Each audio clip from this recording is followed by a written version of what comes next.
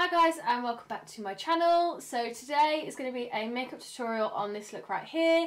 It's certainly one of my favourite eyeshadow looks to do. Um, it's always something I tend to gravitate towards when I go out and things like that. So things have changed since my last video. I used to do red, gold and glittery stuff whereas now I'm a bit more on the dark side now. I know how to work with dark eyeshadows. but yeah, if you want to see how I created this look, then just please keep watching. As you can see, I have done one eye off camera just because I want to go in depth as much as I can with this tutorial because I know a lot of my friends, well, obviously because they're my friends, but a lot of my friends have said that they really like how I do this eyeshadow look and they want to know how to do it. So I thought, why not choose, this is my first video to come back to. So yeah, I'm going to show you how you do this. I need to stop with the hands. The hands are really annoying because I haven't painted them and they're short as what are you to do? So a lot of the brushes I'm going to be using today are, sorry I keep looking down here because they're all down here. I've got a few Sigma, I've got a few Morphe that have just come out of like a random set that they've done. But mainly I'm going to be using, all the white brushes are the Morphe X Jaclyn Hill collaboration. But yeah, so the first brush I'm going to be using is this little flat shader brush. I don't use it for eyeshadow, I use it for my cream concealer just under my eye. Uh, back in the day, I think one of my first ever videos was a flat brush to carve up my brows. I personally don't like the rounded ones. I feel like you don't get that much of a sharp edge with them.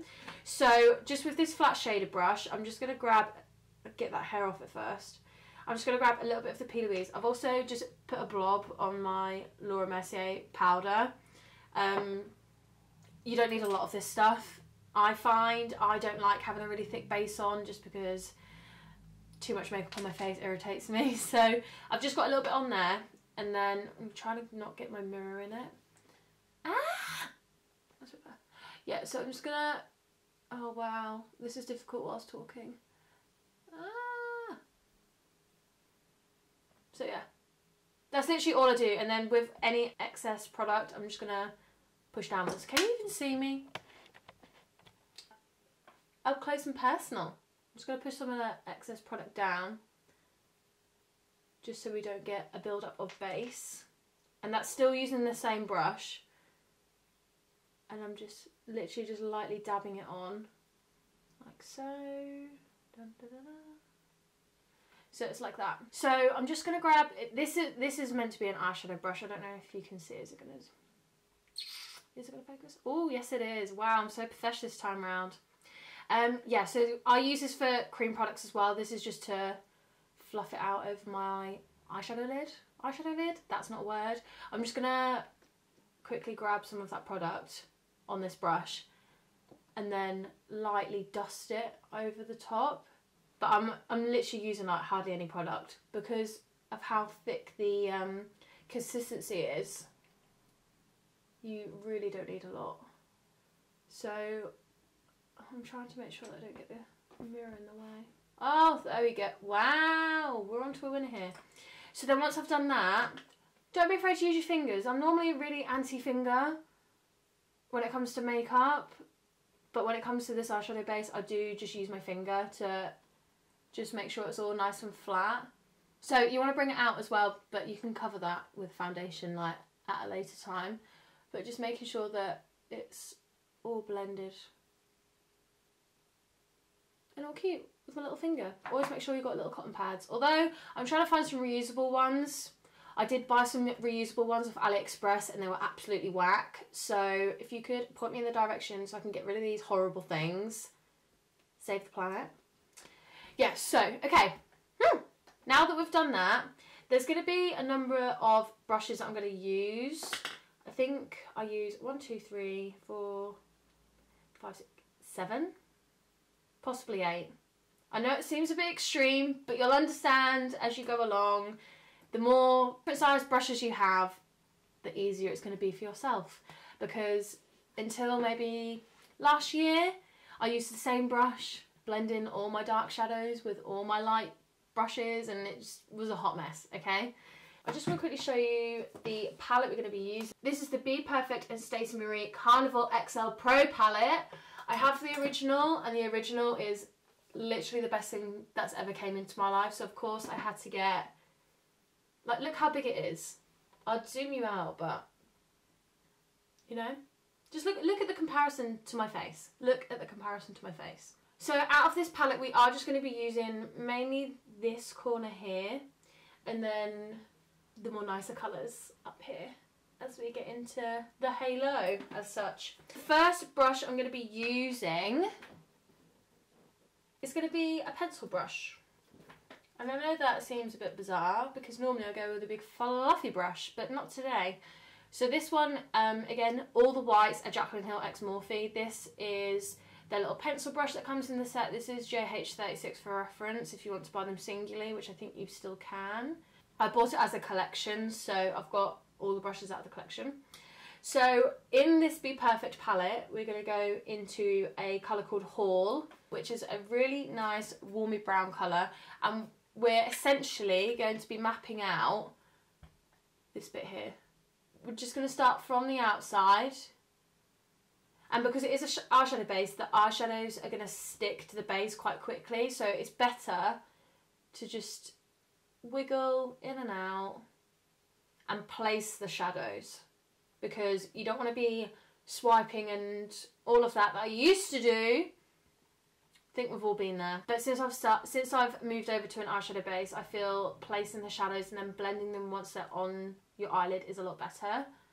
So this going to look like the crazy, this is to look like the crazy part, I'm not to lie. It took me ages to understand how to use a base, so don't feel like you can't do makeup if you don't do it right the first time.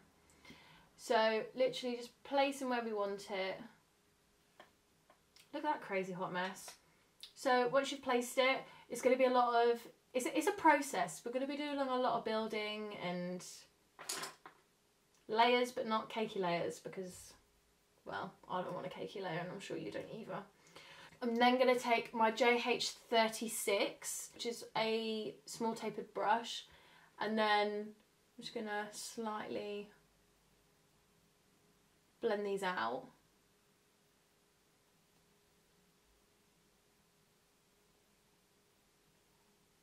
I also found as well the way you hold a brush can also determine how well your eyeshadow goes. I find the closer I hold it to the end, the more light my hand is because you're not putting so much tension on the brush. Um, you get a softer, softer blend. Also, just another quick tip as well, you don't want to be blending upwards because we want to keep it as close to the uh, cre crease line, crease as possible. So it's better to come up from an angle and blend downwards because we're going to be covering it with concealer and dark colours down in this bit anyway. So just make sure it's all blended like so. Please, I don't know if you can you can see, but I can, but ignore that bit because it is, it is eczema. It's not because I haven't blended it out right. So again, going back with this pencil brush, this is the um, JH38. I feel like I said 36 the first time, but the one I just used was a 36. So with our darkest colour, which is Intuition, which is a really, really deep brown, we're then going to do the exact same process by doing it in the crease and going all the way round. Because it's a halo eye, whatever we do to the outer, outer corner, we have to do to the inner corner. So if you just follow it all the way around, it's all about symmetry, this look as well, which is not my strong point. so once we've done that, I'm then going to go into my Sigma tapered brush, which is the E40. And we're just going to, again, blend those two colours together. So just keep blending it. Also, just a side note, I have no product on this on this brush, so it's, I mean, it's clean. So if you just keep keep wiggling it in like so, we're then going to grab that same pencil brush that we used and still dipping into that intuition colour and we're just going to pack it on the outer corner we're just going to pack it on the outer corner and then ever so slightly on the inner corner as well. The good thing about using a pencil brush is that you can really get into the corner. So once we've packed that colour on in either side of the corners, we're then gonna, this is just a Morphe um, brush, so it hasn't actually got a number on it because it was just bought in like a gimmick set. What I like to do is I like to stamp the product again like how we do with our shadows, just because you do get more control over where you're placing your products. So what I like to do is just bring the mirror that you're using really like as far as you can down so then your eyelid is flat. To go slightly above the crease because when we look up we want to be able to see that you've got halo eye. Place it ever so slightly.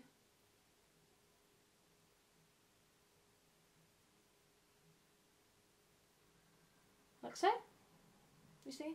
It's just a very, very rough outline because you're going to be able to um, tidy it up when you put your eyeshadows on. Placing it down the centre of your eyelid.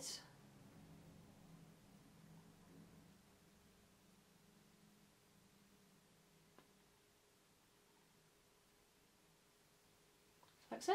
Sorry, I had to get the mirror in shot then. So once that's all done, we're then going to place the eyeshadows down. We're then going to get a JH42 and we're going to go into the colour Orchid and like I'm really pressing down so we're picking up as much product as we can and then again just placing it ever so slightly where you've put all of that conceal um, eyeshadow base and it's good with the round ones as well when you're trying to get that curve when you place it you don't have to mess around with having to tidy up as much. So just placing it all down. And then I'll go in with my finger as well and really drag it down the centre so you get more of a colour payoff. And then with the edges, just ever so slightly blend in the edges so then we don't get that harsh line. that edge really um, circular. So once we've done that, to really give it more of a pop, I'm then going to go into the shade Pink Me. So this one is Orchid and then this one in the pan looks white but it's got pink reflectance in it. So we're just going to pop that right in the middle near the lash line so then it gives it more of a vibrant look. So then once we've done that, we're then going to get the JH40, which is a really small, pointed, fluffy brush. And then going back into the colour Hall. And then really making sure that the edges are all buffed together. And because this is a lighter colour than Intuition that we put on the outside, it's going to give it more of a gradient feel. So, like so. And then making sure that all the edges are blended out. Okay, so I've just got a pair of eyelashes. Um, these are just ones I found in my drawer. My favourite eye eyelash glue is the Eylure uh, lash glue that you can get when you buy like a pair of eyelashes. I feel like that's, I've never really had any problems with them before. So now that the glue is still a little bit wet, what I will do, and I, this is something that I found has really worked for me to keep my eyelashes on as long as possible, is I will literally just stamp where I want the glue. So as you can see, I've just put a lash, a lot like a stamp of glue on my eyelid, and then I'll just try and dry it as much as I can. So then I'll then just place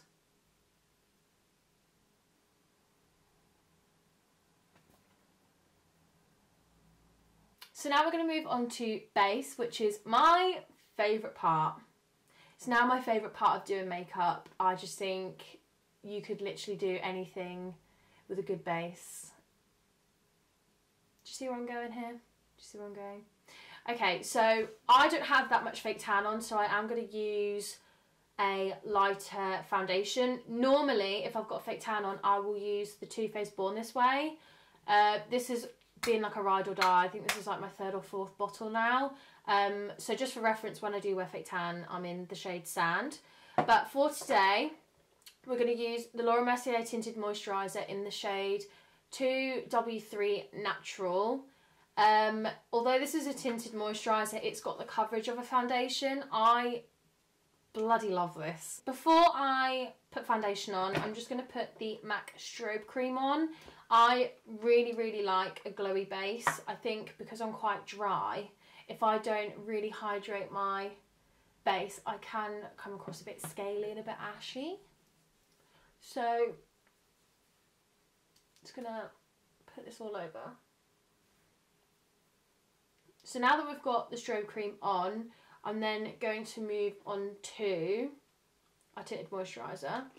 So I'm just going to take this on a big kabuki brush. This again is from the Jaclyn Hill collection. This is the JH03 and I think it's the only brush that is in the collection. But when I watched her video she said that this is they, they have a brush like this that isn't part of the collection on the Morphe website. So if they don't sell it as a single or they don't stock it anymore. There is a brush literally identical to this on the Morphe website.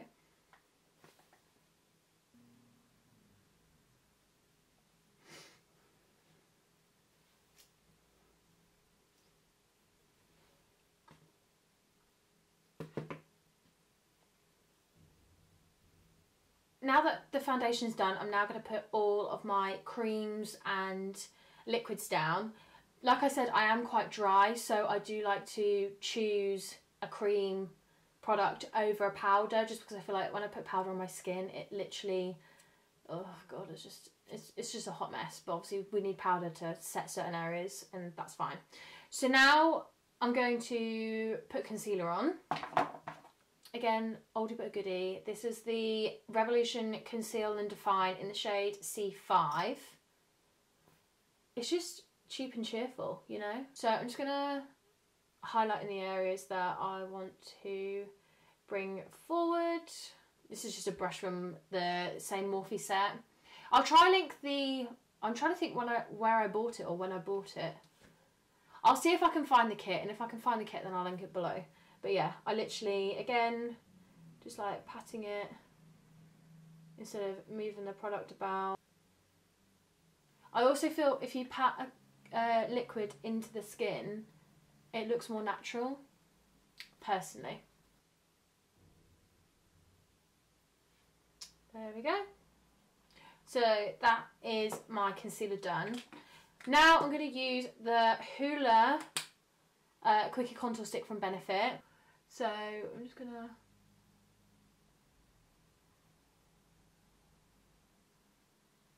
Like so. So then I'm just going to take this brush, JHOH, which is just like a little small brush, and again, just pushing the product into my face and blending it out as much as I can.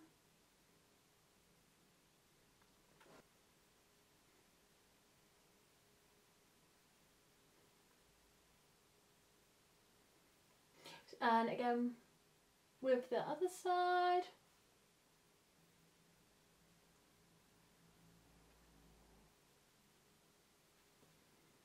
I'm just going to run a little bit down my nose as well.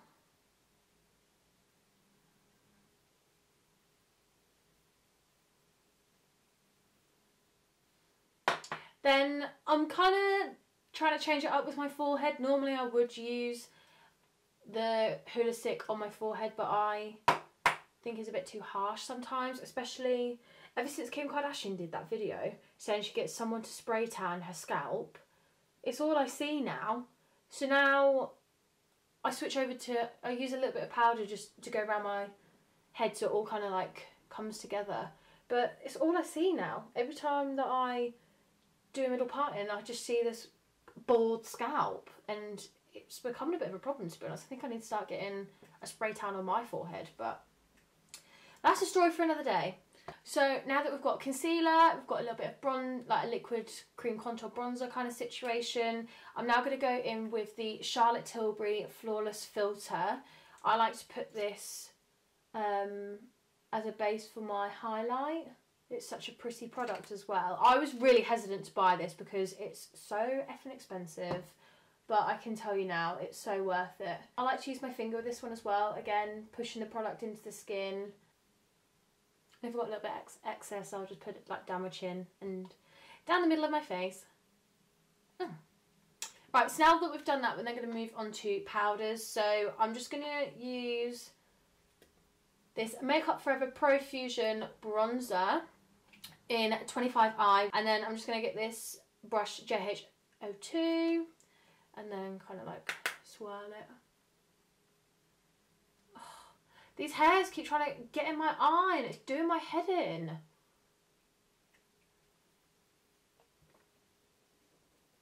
And then just like ever so slightly like on my forehead. Like so. And then just like run it down my nose. Like so. And then just to finish off our base, then we'll go back onto the lower lash line. I'm going to use this uh, Doll Beauty Duo. And I like to mix the two together. But, and I'm just going to use the Sigma High Cheekbone Highlighter FO3. And then, and then just like dip it in and tap it. And then I like to kind of almost, I don't really know how to explain it. I almost kind of like flick it off my cheekbone. So then it doesn't stick the places you don't want it to stick. Like so. And then like that. okay, so now that all of our base is done, I think I haven't forgotten any steps because I did this last time. Oh my god, I forgot blush. So I'm just going to quickly take this JH04, which is like a tapered brush, and then ever so slightly. Just like flick it off my cheek. Now that we've done everything on our face, we're then going to move back onto the lower lash line. So again, going back in with our little pencil brush. Where is my mirror? Here we go. So with this little pencil brush, we're going to go into the colour Hall. And then do it in. And you'll see why I haven't set my concealer in a minute because, well, you'll just see. So then so after the colour Hall, which is the lightest colour we're going to be using, we're then going to go back into Intuition, which is the darker colour, and just doing it really, really closely. So using those two colours does mimic what we've done to the top. So we've used um, Hall in the crease and then we used Intuition to deepen it up. So that's what we've done on the lower lash line.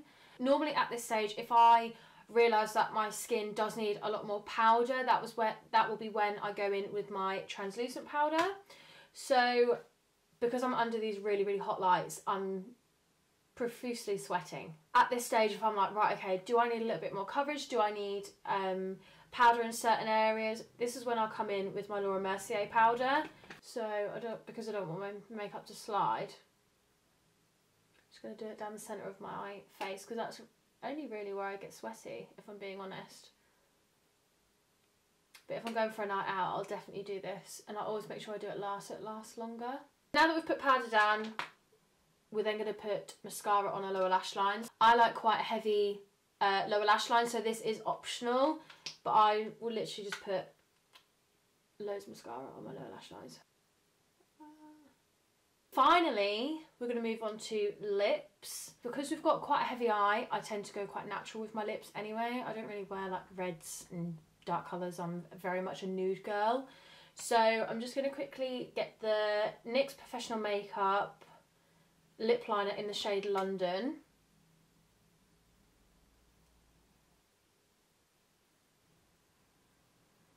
So now that I've done my lips, I'm then going to put on some gloss. This is the NYX Butter Gloss in Creme Brulee. I never thought I'd be wearing a pink lip gloss and it's all I seem to be wearing at the minute. So,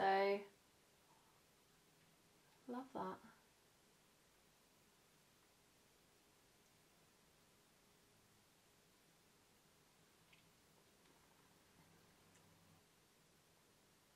Now to set, I'm going to use the Morphe Continuous Setting Mist. This is one of my favourites at the minute, just because one for price point, it's literally like £15. And I love the spray. It's like an aerosol spray. So I find with other setting sprays that you kind of, it kind of flicks at you and you get all the white dots and stuff, but this is why I like it, so.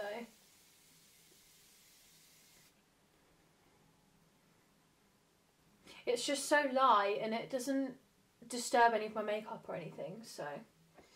Yes, I'm just gonna get rid of this really ugly clip out of my hair and I'll be back.